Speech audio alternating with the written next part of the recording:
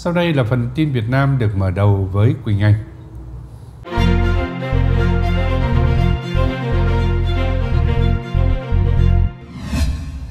Thưa quý vị, mở đầu cho phần tin Việt Nam, cáo trạng truy tố ông Tất Thành Cang và chính đồng phạm vụ bán rẻ đất hai dự án.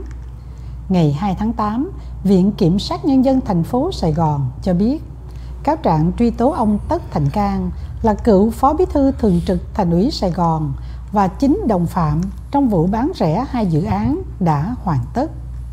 Đây là vụ án vi phạm quy định về quản lý sử dụng tài sản nhà nước gây thất thoát lãng phí xảy ra tại công ty đầu tư và xây dựng Tân Thuận dẫn đến thất thoát công quỹ 735 tỷ đồng. Trong số 9 đồng phạm của vụ án có ông Phạm Văn Thông, cựu phó chánh văn phòng thành ủy.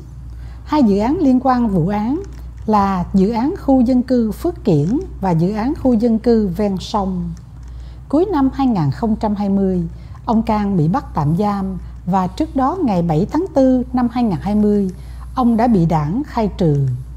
Ông Cang bị cho là vi phạm trong vụ án bán rẻ 9 triệu cổ phần của công ty phát triển Nam Sài Gòn Sadeco cho cổ đông chiến lược. Công ty Nguyễn Kim không thông qua đấu giá, thẩm định giá gây thất thoát 1.103 tỷ đồng. Vào ngày 8 tháng 1 năm 2022, ông Tất Thành Cang bị tòa sơ thẩm tuyên án 10 năm tù giam với tội danh vi phạm quy định về quản lý sử dụng tài sản nhà nước gây thất thoát lãng phí. Phiên phúc thẩm vào ngày 9 tháng 6 giảm cho ông 1 năm 4 tháng xuống còn 8 năm 6 tháng tù. Công an xác nhận lỗi của viên thiếu tá quân đội lái xe đâm chết nữ sinh và đủ yếu tố để mà khởi tố. Trước sức ép từ dư luận đòi hỏi sự minh bạch về vụ nữ sinh bị xe hơi do một thiếu tá quân đội điều khiển tông chết, thì Bệnh viện Đa khoa tỉnh Ninh Thuận vào hôm 2 tháng 8 thừa nhận có sai sót trong xét nghiệm nồng độ cồn ở nạn nhân và đại diện Bộ Công an cho biết là có đủ cơ sở để mà khởi tố. Vụ tai nạn xảy ra cách đây hơn một tháng khi ông Hoàng Văn Minh là cán bộ của Trung đoàn 937 thuộc quân chủng phòng không không quân, lái xe hơi chuyển làn đường và đụng vào Hồ Hoàng Anh là một nữ sinh lớp 12 của trường chuyên Lê Quý Đôn ở thành phố Phan Rang Tháp Chàm thuộc tỉnh Ninh Thuận. Lực va chạm đã khiến cho nạn nhân bị hất văng về phía trước và tử vong sau khi đập đầu xuống đường. Video về vụ tai nạn ghi lại từ camera an ninh được người dùng mạng xã hội lan truyền cho thấy ông Minh mặc cấp bậc thiếu tá đi tới quan sát nạn nhân bằng thái độ rất là vô cảm. Sau đó hai tuần thì gia đình nạn nhân được thông báo từ công an thành phố Phan Rang Tháp Chàm, trong đó đưa ra kết luận rằng có nồng độ cồn trong máu của nữ sinh Hoàng Anh. Tuy nhiên, bố của ờ, nạn nhân là ông Hồ Hoàng Hùng đã bày tỏ với truyền thông trong nước sự tức giận của gia đình về việc thu thập mẫu máu của con gái ông mà không có sự chứng kiến của họ và đại diện các cơ quan chức năng. Ông Hồng đã gửi đơn khiếu nại về điều mà ông cáo buộc là có sai lệch trong hồ sơ vụ tai nạn khiến cho con gái ông bị tử vong. Và thông tin về vụ việc đã dẫn đến cơn bão dư luận trên mạng xã hội.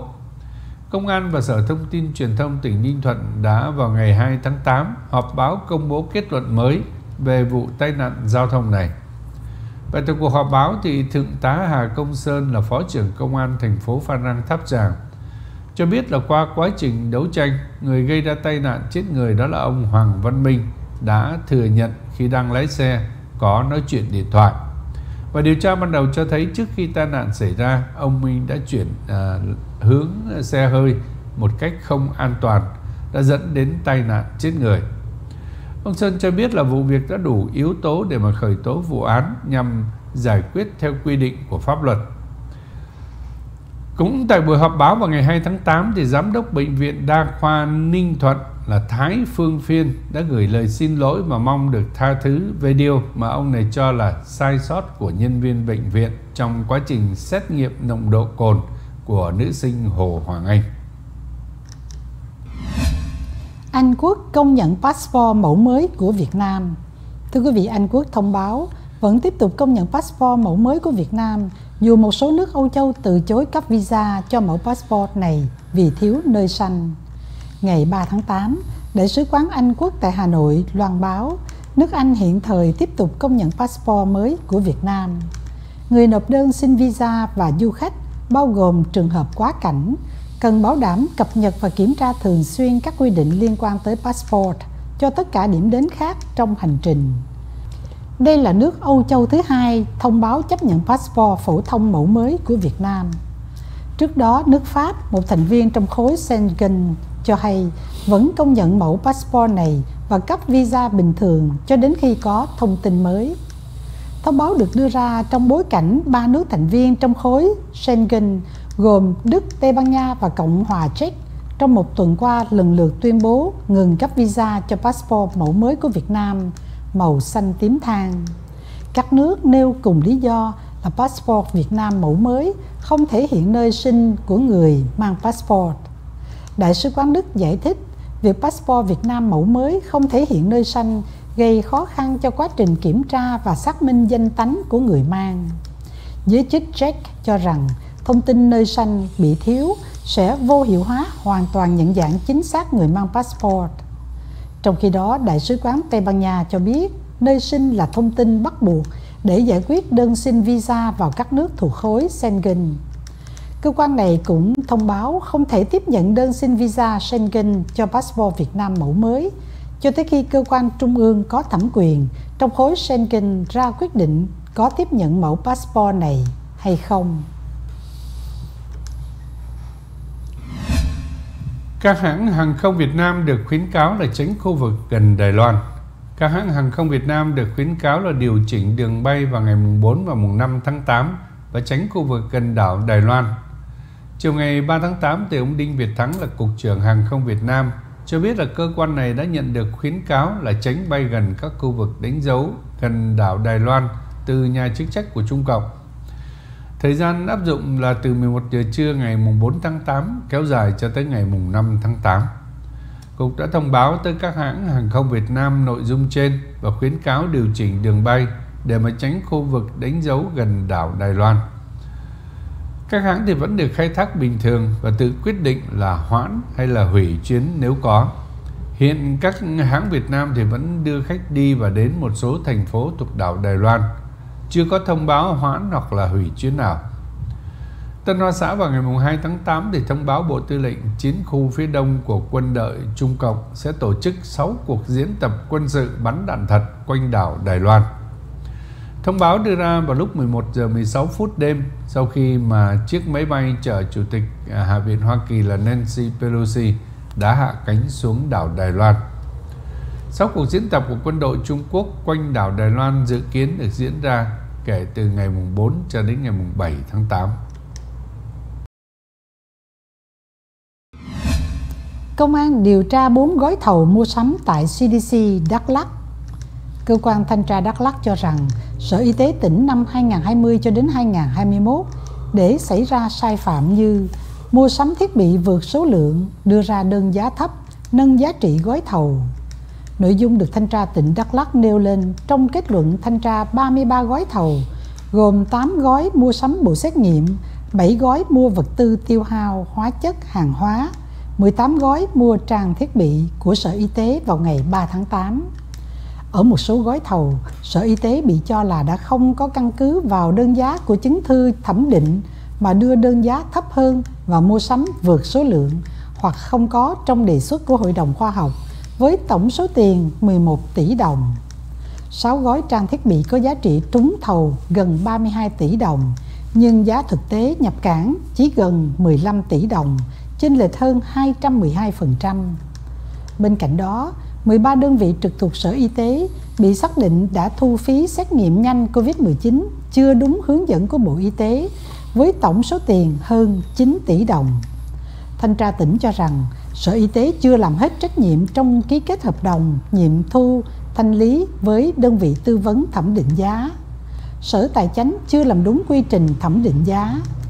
Từ những sai phạm trên, cơ quan thanh tra kiến nghị chuyển hồ sơ 4 gói thầu mua sắm do Trung tâm Kiểm soát Bệnh tật tỉnh Đắk Lắk làm chủ đầu tư sang cho cơ quan điều tra.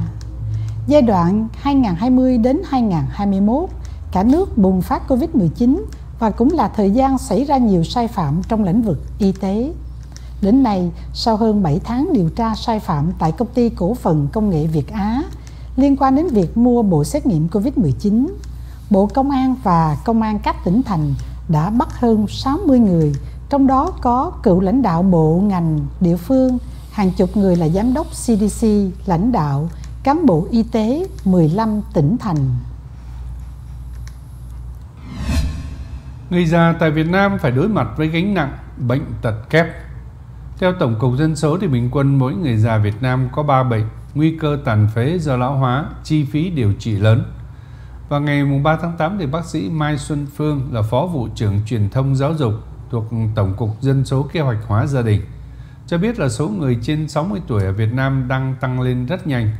Cụ thể là trong giai đoạn 2009-2019 và số lượng người cao tuổi đã tăng từ 7.67 triệu lên 11.4 triệu và dự báo vào năm 2030 thì lên 18 triệu. Tính ra là chiếm 17.5% dân số. Trong khi thì các nước phát triển mất nhiều thập niên, thậm chí hàng thế kỷ thì mới chuyển sang giai đoạn già hóa dân số như là Pháp là 115 năm, Úc 73 năm, còn Việt Nam chỉ chỉ vào khoảng 26 năm. Theo thống kê của Tổng cục Dân số, tuổi thọ bình quân của người Việt Nam tăng nhưng số năm sống khỏe mạnh thấp so với nhiều nước. Cụ thể là phụ nữ sống có bệnh tật trung bình vào khoảng 11 năm và nam giới vào khoảng 8 năm. Trong khi đó thì tuổi thọ trung bình ở Việt Nam cao nhưng tuổi thọ khỏe mạnh của người cao tuổi thì lại thấp, 64 tuổi. Đặc biệt là hơn 67% người cao tuổi có tình trạng sức khỏe yếu hoặc là rất yếu. Theo ông Phương thì người cao tuổi của Việt Nam đang đối diện với gánh nặng là bệnh tật kép. Bình quân, mỗi người già có 3 căn bệnh, nguy cơ tàn phế do quá trình lão hóa và chi phí điều trị lớn, trong khi hệ thống chăm sóc sức khỏe thì chưa đáp ứng kịp thời. Bản tin vừa rồi đã kết thúc phần tin chiều nay của Hình Việt TV. Xin cảm ơn quý vị đã theo dõi. Ngọc Diệu và Quỳnh Anh xin được kính hẹn lại vào bản tin kỳ tới cũng trên Hồng Việt Television. Chúng tôi xin thân ái kính chào tạm biệt quý vị.